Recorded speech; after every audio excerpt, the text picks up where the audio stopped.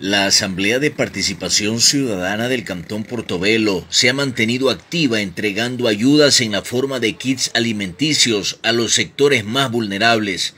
Bolívar Bravo, presidente del ente, agradeció la ayuda de varios sectores que se habrían sumado a esta iniciativa.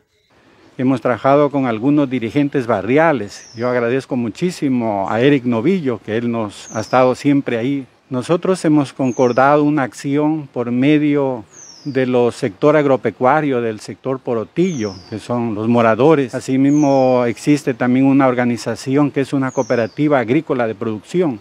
Tomando el tema de la reciente caída del precio del petróleo, el representante de la ciudadanía en el cantón dice que las autoridades ahora deberían apuntar a la agricultura, que es el mejor recurso renovable, indicó va a llegar un momento en que no exista esta forma de producción porque son cosas acabables.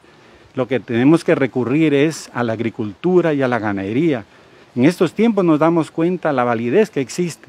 El Cantón Portobelo registra de momento 10 casos confirmados de coronavirus, mientras las autoridades y sectores sociales luchan por que esta cifra no se incremente.